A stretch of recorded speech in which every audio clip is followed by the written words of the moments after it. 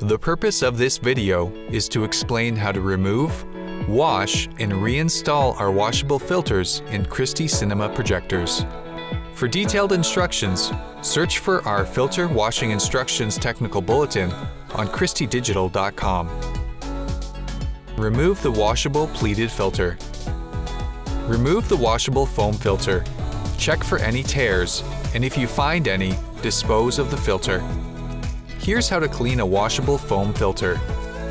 Fill a bucket with water at a temperature of 50 to 65 degrees Celsius or 122 to 150 degrees Fahrenheit and add the amount of laundry detergent to the water that the detergent manufacturer recommends for a small load of laundry.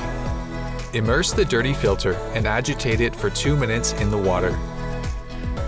Next, let it soak for 15 minutes.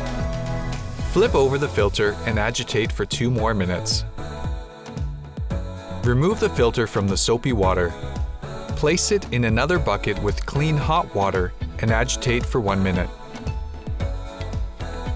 Remove the filter and air dry it for 3 to 4 hours. Once it's dry, shake the filter to remove any remaining debris. Make sure it's completely dry before reinstalling it in the projector. Here's how to clean a pleated washable filter. If the filter is damaged, dispose of it and replace it. Fill a bucket of water at a temperature of 50 to 65 degrees Celsius or 122 to 150 degrees Fahrenheit and add your laundry detergent.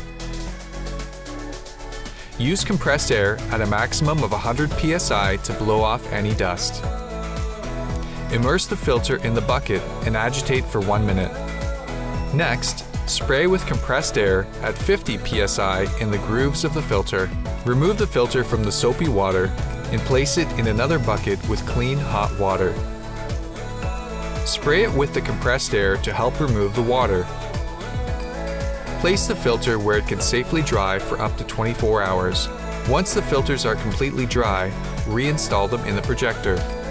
If you need to use your projector while your filters are drying, you'll need a separate set of clean, dry filters. While you're here, check out some of our other helpful Christie U training videos.